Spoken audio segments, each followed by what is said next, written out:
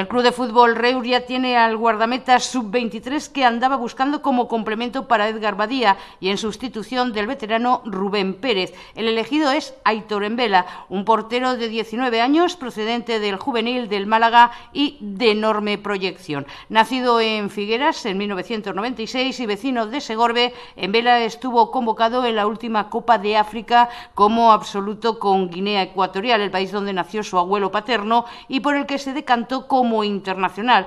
No llegó a jugar ningún partido ante la consolidación bajo palos de Felipe Obono. Debutó, eso sí, el pasado 26 de marzo de este año en un amistoso contra Egipto que venció por 0-2. En 2011 llegó a estar convocado también en la selección española sub-16 para un entrenamiento. En Vela se formó en las categorías inferiores de la altura y del Villarreal y llegó al Málaga en 2013. A pesar de encontrarse en un club de primera división, el ambicioso proyecto del Reus y el contrato de dos temporadas con opción a una tercera le han convencido para enrolarse en el club de la capital del Camp. Aitor Envela es hijo de José Manuel Envela, también internacional por Guinea Ecuatorial y el jugador del Nastic de Tarragona desde 1996 al 98, entre otros equipos. Esta última campaña ha ejercido como director técnico de la Academia de Fútbol Mogreb de Tetuán, en Marruecos. Con su llegada ya son cinco las incorporaciones que el club de fútbol Reus ha cerrado tras las defensas de Edu Benito,